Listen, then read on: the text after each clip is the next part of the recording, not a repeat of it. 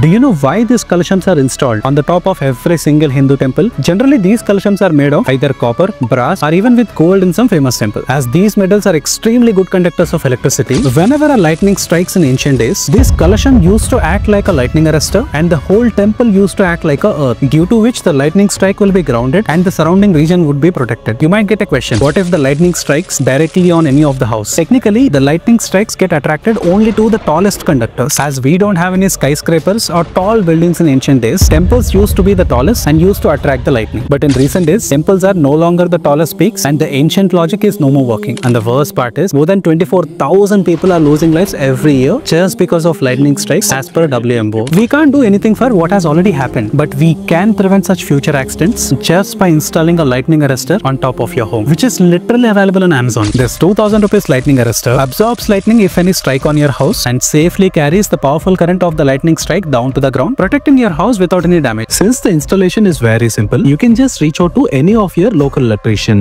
To order this product right now, you can click on the link given in our channel's bio.